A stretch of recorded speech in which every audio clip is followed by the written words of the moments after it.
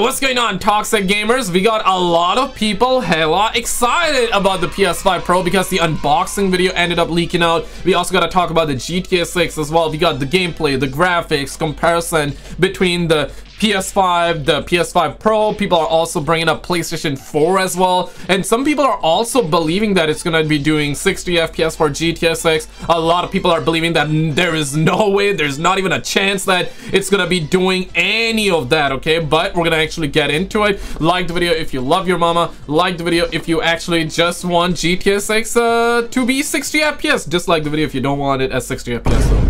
Uh, I want to know where you guys at, but shout out to the homie Dreamcast guy. Roll it. So this is coming from a bunch of different threads on Reset Era, and people have been leaking stuff via Discord. Essentially, people have decided to hook up, to connect to the internet, and do some updates with the PlayStation 5 Pro, and they're discovering these Holy. little extra things, like this. Nah. Enhance Nah. the image quality for PS4 games. Now, it says here, you can improve the image quality of PS4 games Finally, we're gonna be able to take our GTA 5 PS4 disc and play on PS5 Pro with enhanced mechanics and PS5 Pro update. That's that's lit. That's lit. to enjoy lit. higher quality gameplay for some games. Turn this off if you experience any unexpected behavior during your gameplay. Now, people are going, okay, how does this work? Yeah, what does this does this actually work, mean? right? Now, we're going to take a look at some side by side comparisons, but the biggest thing that people are kind of thinking about is how does this work? Now, the Yeah. first thing I just want to throw out from the games that have been tested thus far, it does not improve frame rate. Or if it does, people have not discovered stuff that boosts frame rate yet, which I must admit, that's what I would want most. I love higher So this is the normal PS5, and this is the Pro version. Uh, where? Uh, uh, where is the difference, man? Where is the difference? Y'all it's crazy, man. For 1200 Canadian. I'm in Canada. Let me know where you guys are at, though. Let me know in the comments, man. Shout out to wherever you are, man. Shout out to my American viewers. Shout out to my Canadians. Shout out to my New Zealanders, Australians. Australians, mine. Shout, uh, shout out to my UK homies as well. Let me know where you guys at so I can shout you out as well, right? Do you think this is a big difference? Do you think this is a big enough difference? Or you're, you're just gonna up the sharpness on your monitor and your TV to be able to play games thinking that you got PlayStation 5 Pro, but without actually spending $1,200. I want to know where you guys at with that, man. I, I want to, I genuinely want to know. air frame rate is always better. Anything over 60, 60 is fine, but I, I think stuff when it manages to get into the hundreds, I think it makes a much smoother experience, especially with something like 100%. Dark Souls or in this case 100%. Bloodborne. It would be nice if you could have it even more up. I- I'm just a happy guy. Like, I- I'd be happy with the games being good quality, 1080 and 60 FPS though. I- I'm sorry, guys. I- I- I'm uh, 1080 60. That works for me. That works for me. I know some of you guys want 4K 60, 4K 120, 8K your mama 120 FPS, 240 FPS. Guys, for that, we would need PlayStation 100. The way they are struggling nowadays, I don't know, man. I just want a good game. Good gameplay, good story. Simple. Simple. Simple, okay? Simple. 1080 60 i'm happy okay? I'm happy. Uh, I, and i also love the the aspect of uh, hey they got native 1080 or i should say native 4k ray tracing ray tracing 30 fps that's like your fidelity. And then they also give us like the performance mode where it's like 4k dynamic not native but dynamic with 60 fps i, I think that's cool. That I, I think to me that's odd. But whenever games comes out that are like hey you know hey best game biggest game biggest game of the year 2024 and they couldn't even do 30 fps then i'm like hey uh, maybe maybe not. Maybe it's not the biggest game of the year. You, you feel what i'm saying? Like the video if you if you want 60 fps dislike if not i want to know where you guys at. Although for a single player game I understand. For a single player game, maybe you want to just play the game at full like resolution, fidelity, right? Ray tracing, fully maxed out, 4K, 30 FPS, maybe even 40 FPS if you're on PC with a specific graphics card that is allowing you to play max settings and, uh, you know, uh, perhaps not 60, but 40 FPS, right? I get that. I get that. But for like a multiplayer online game, it needs to be 60. I mean, every game is better at 60 FPS. Let me just keep a buck 50. Let me know your thoughts for sure. But, But, uh, this is the game people plugged in first to see how much better it actually looks. Now, I do want to be clear, a lot of people are fixating on that part where it says, why does the text just say some games instead of all games? This is because of an ancient lawsuit. It's basically that if you say this improves all games, literally people will pixel test it and stuff. You don't want to get Yeah. sued for false advertisement. So even when it comes to the original PlayStation 2, Yeah. they had that texture filtering option. If you put PS1 games into a PS2, it would actually make them look ever so slightly better, and a lot of times cut down on some of the load times and stuff. But it didn't affect all of them because some of them are just not able to be upgraded, right? even with the mm, Xbox, yeah, even with PC, there's stuff that breaks. Well, this thing here is very interesting. So here's like an example of it. It seems like what's happening is one of the aspects of the PlayStation 5 Pro is a new engine of AI upscaling, an AI engine that actually makes extra frames, that makes stuff extra crisp. And what this essentially does is where you can get lower quality aspects and bump them up to 4K in a mm. way that doesn't break mm. the engine or mm. hurt the frame rate. It just oh, ups wow. the image quality. And when you look at it, this side-by-side comparison, it's not going to completely blow your mind. It's not going to suddenly make, you know, PlayStation 4 games look like PlayStation 5 games, but they do look better. All right, Wow! Wow! Beautiful! That is crazy! Sheesh! Sheesh! No, listen, man.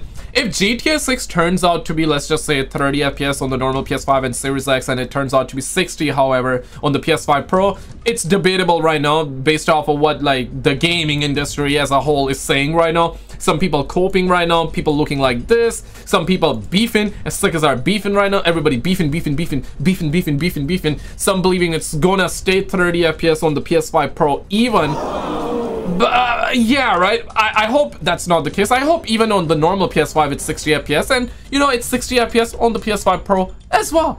But if it turns out that it's only 60 FPS on the PS5 Pro, then okay, I get it, right? But to buy PS5 Pro for just one game, uh, yeah, right? But to buy PS5 Pro, Pro for GTA 6, oh, hell yeah, yeah! You know what I mean, right? It depends on what games you're talking about, right? Because right now, we have a massive drought in the gaming industry. Not necessarily a drought, but it's just that every game that is coming out, you know, recently Dragon Age, there's drama going around. Assassin's Creed Shadows of the BBC prior. We had, like, other games that came out un unfinished, buggy, filled with politics and this and that, right? So we had like whole lot of drama. Like the video if you love games when they're woke, dislike, uh, or not woke, I should say.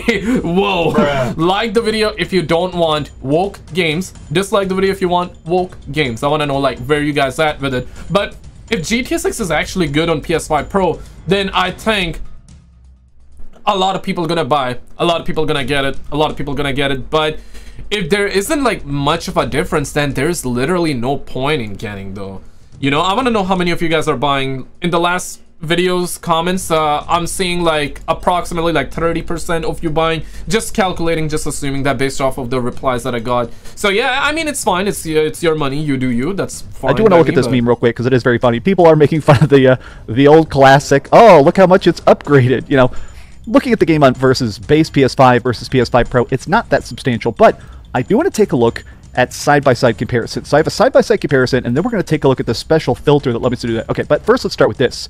So this is with PS4 enhancements off and PS4 enhancements on.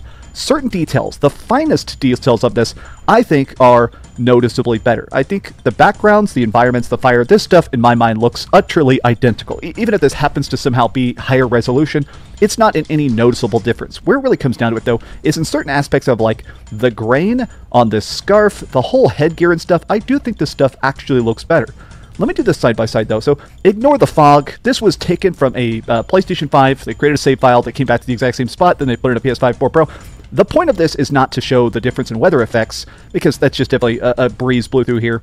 It's to show the fact that definitely when you look at some stuff, it does actually improve everything a little bit. Hmm. Even this stuff, when you kind of wiggle it back I was wrong about the PS5 Pro video incoming by the homie uh, Dreamcast guy. No, no, make no mistake, it is better. It is better, but but dog, twelve hundred dollars, twelve hundred, or seven hundred USD. Genuinely though, yeah, uh, even if you're buying the console. Uh, and you want to buy the console, that's fine. That's your money, right? I get, I, I guess, listen, man, I get it, okay? I get it. I understand. Uh, but if you're buying, even if you're buying the console, do you think this is enough improvement? L- let me know in the comments. Let me know in the comments. Do you think this is enough? I guess if you're not buying, then surely go ahead. Let me know. But I, I'm assuming that you guys, the ones that are not gonna buy, you guys are gonna go crazy. You guys are gonna be like, hey man, but that's it. But that's it. but that's it. You guys are gonna be beefing big time in the comments, and I, I understandably, right? technically you can seriously right jokes aside you can up the sharpness on your monitor and uh, and your tv and you can achieve greater results than this too even greater than uh, these results right right i'm right you're right we're all right here guys Back and forth here.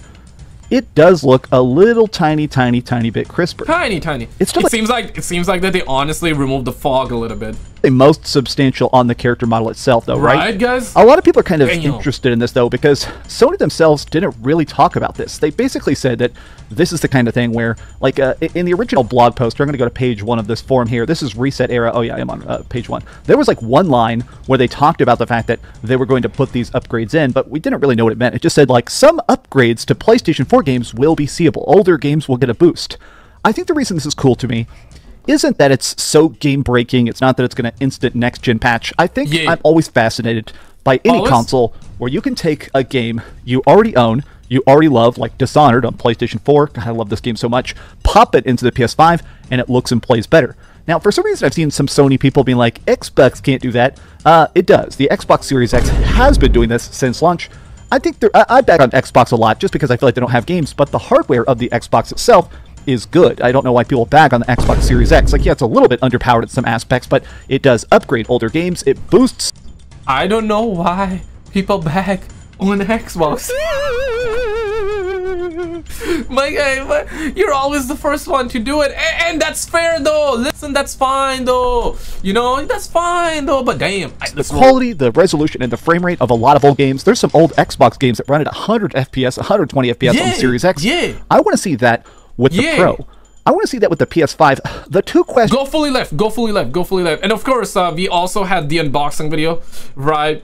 We also had the unboxing video that I covered in this video. Check out this video on the screen. We talked about GTA 6. This unboxing video, the full video is available right here. If you have not seen it just yet, check it out, and I'll see you right there.